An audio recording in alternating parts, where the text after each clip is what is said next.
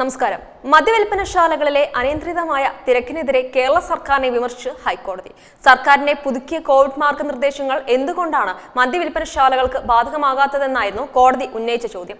Case പരിഗണിച്ച justice Devan Ramachandran ശക്തമായി തന്നെ സംസ്ഥാന സർക്കാരിനെ വിമർശിച്ചിട്ടുണ്ട്.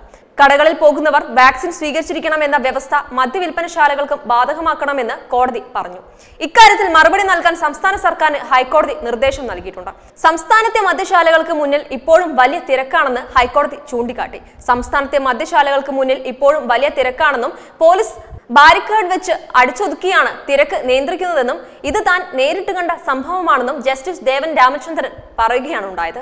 മദ്യം വാങ്ങാൻ എത്തുന്നവരെ കന്നുകാലികളെ പോലെയല്ല കാണേണ്ടത്. R T P C R സർട്ടിഫിക്കറ്റോ ആദ്യ ഡോസ് വാക്സിൻ എടുത്ത രേഖയോ ബെബ്കോ ഔട്ട്ലെറ്റുകൾക്കും ബാധകമാക്കണം. R T P C R സർട്ടിഫിക്കറ്റോ ആദ്യ ഡോസ് വാക്സിൻ എടുത്ത രേഖയോ ബെബ്കോ ഔട്ട്ലെറ്റുകൾക്കും ബാധകമാക്കണം. മാത്രമല്ല vaccine എടുത്തവർക്കോ R T P C R ചെയ്തവർക്കോ മാത്രമേ മദ്യം വിൽക്കുകയുള്ളൂ എന്ന് തീരുമാനിക്കണം. വാക്സിനേഷൻ പരമാവധി ആളുകളിലേക്ക് എത്താൻ ഇത് ഉപകരിക്കും. മദ്യം വാങ്ങേണ്ടതിനാൽ കൂടുതൽ ആളുകൾ വാക്സിൻ എടുക്കും. വിഷയത്തിൽ സംസ്ഥാന സർക്കാർ നാളെ മറുപടി നൽകണം. കേസ് നാളെ വീണ്ടും പരിഗണിക്കുമെന്നും കോടതി വ്യക്തമാക്കിയിട്ടുണ്ട്. അതേസമയം സർക്കാരിന്റെ പുതിയ കോവിഡ് നിയന്ത്രണങ്ങൾക്കെതിരെ വലിയ വിമർശനങ്ങളാണ് ഉയർന്നുകൊണ്ടിരിക്കുന്നത്. വാക്സിൻ നയങ്ങളിലെ അപര്യാപ്തതയും ജനങ്ങളടക്കം ചൂണ്ടിക്കാണിക്കുന്നുണ്ട്.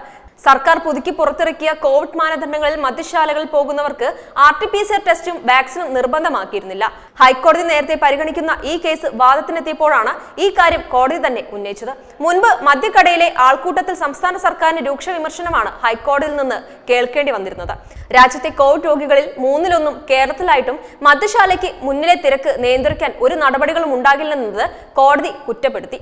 കല്യാണത്തിന് ഇരുപത് പേരെ മാത്രം അനുവദിക്കുമ്പോൾ മദ്യവിൽപ്പനശാലകൾക്ക് മുന്നിൽ അഞ്ഞൂറിലധികം പേർ ക്യൂ നിൽക്കുകയാണെന്നും ഹൈക്കോടതി അന്ന് ചൂണ്ടിക്കാട്ടിയിട്ടുണ്ടായിരുന്നു. ഒരു സാമൂഹിക അകലവും പാലിക്കാതെയുള്ള മദ്യശാലകൾക്ക് മുന്നിലെ ആൾക്കൂട്ടം പൊതുസമൂഹത്തിന് എന്ത് സന്ദേശമാണ് നൽകുകയെന്നായിരുന്നു ജസ്റ്റിസ് ദേവൻ രാമചന്ദ്രൻ അന്ന് ചോദ്യം ചെയ്തത്.